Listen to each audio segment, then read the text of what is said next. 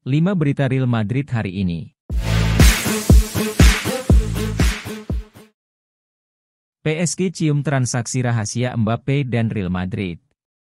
Paris Saint-Germain tidak lagi mengenal ampun setelah mencium transaksi rahasia antara Kylian Mbappe dan Real Madrid. Bursa transfer musim panas 2023 benar-benar menunjukkan wajah asli Paris Saint-Germain. Awalnya, Les Parisiens dianggap akan ketakutan dengan pilihan karir Kylian Mbappe. Sang penyerang sudah menolak memperpanjang kontrak secara otomatis pada tahun depan. Keputusan tersebut bisa membuat Mbappe pergi secara gratis saat kontraknya habis pada 30 Juni 2024. PSG diduga mencium negosiasi rahasia antara Real Madrid dan penyerang andalannya. Real Madrid sebenarnya cenderung diam saat rumor transfer Mbappe kembali muncul ke permukaan. Akan tetapi, Les Parisiens justru curiga bahwa kedua belah pihak sudah menjalin kesepakatan pribadi. Alhasil, PSG pun memperlakukan kebijakan baru yang dua kali lebih kejam. Penyerang berusia 24 tahun tersebut tidak masuk ke dalam daftar skuad untuk tur pramusim. Sikap tersebut diambil oleh klub untuk menunjukkan keseriusan mereka dalam menjual Mbappe. Empat pemain bintang Real Madrid yang tolak mentah-mentah kedatangan Kylian Mbappe. Sebanyak empat pemain bintang Real Madrid tolak mentah-mentah kedatangan Kylian Mbappe. Hal ini lantas membuat proses transfer sang bintang timnas Prancis itu semakin sulit. Seperti yang telah diketahui, Kylian Mbappe kembali dikaitkan dengan Real Madrid setelah pemain andalan Paris Saint-Germain, PSG, itu mengatakan enggan memperpanjang kontraknya bersama Le Parisiens. Nomor 4 Vinicius Junior Vinicius Junior menjadi pemain pertama yang menolak kedatangan Mbappe ke Santiago Bernabeu. Seperti yang diketahui, sepeninggal Karim Benzema yang hijrah ke Arab Saudi, Vini akan menjadi tumpuan lini depan Los Blancos musim depan.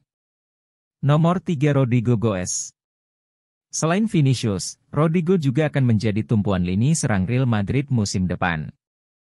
Dengan datangnya Mbappe, tidak menutup kemungkinan jika posisinya lah yang akan tergeser. Nomor 2 Joselu Joselu baru saja dipinjam Real Madrid dari Espanyol. Dengan bergabung ke Real Madrid, jelas Joselu menginginkan menit bermain yang reguler bersama klub teratas La Liga itu. Akan tetapi kedatangan Mbappe akan menjadi petaka baginya. Bahkan, bisa saja Joselu akan sangat minim menit bermain jika ada Mbappe yang masuk ke dalam skuad. Nomor 1 Brahim Diaz Brahim Diaz baru menyelesaikan masa peminjamannya di AC Milan. Kembali ke skuad Los Blancos, Brahim Diaz tentu ingin mendapatkan menit bermain yang lebih banyak. Namun apabila Mbappe bergabung, maka misinya akan mendapat menit bermain akan semakin sulit. Tiga destinasi alternatif Kylian Mbappe jika sulit gabung Real Madrid. Kylian Mbappe kembali menjadi pembicaraan di bursa transfer musim panas 2023. Penyerang asal Prancis itu disebut kembali membuat Paris Saint-Germain pusing. Kontrak Mbappe di PSG akan berakhir pada musim panas 2024. Namun, sampai saat ini Kylian Mbappe masih enggan untuk melakukan penandatanganan kontrak baru. Jika kepindahan ke Real Madrid cukup sulit, tiga klub ini bisa menjadi opsi yang menarik bagi Kylian Mbappe. Arsenal Arsenal memang bukan tim dengan kekuatan finansial yang terlalu besar.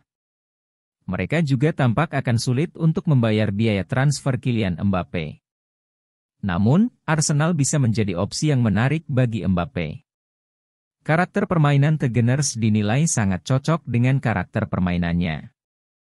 Liverpool Selain Real Madrid, Liverpool sempat lama dikaitkan dengan Kylian Mbappe.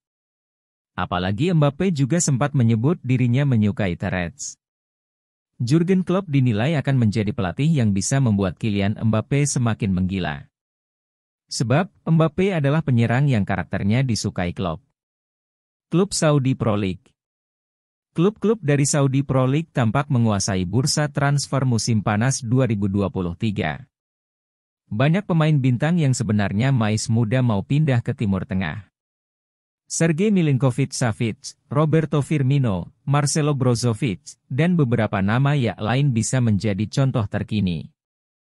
Arda Guler jadi aset spesial Real Madrid. Arda Güler sepertinya benar-benar menjadi aset spesial bagi Real Madrid sampai dibuatkan rencana latihan khusus. Real Madrid sepertinya tengah benar-benar bahagia bisa mendapatkan jasa Arda Güler. Pasalnya, Real Madrid sangat memperhatikan perkembangan dari sang pemain. Real Madrid disebut-sebut sampai membuatkan rencana latihan khusus untuk Güler.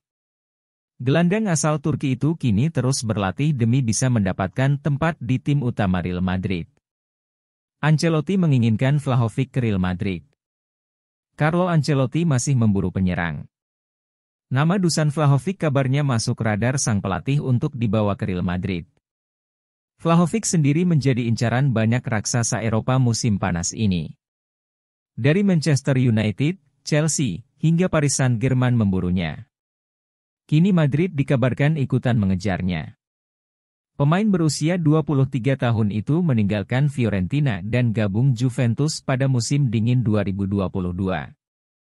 Hingga kini, Vlahovic sudah membuat 23 gol untuk Bianconeri.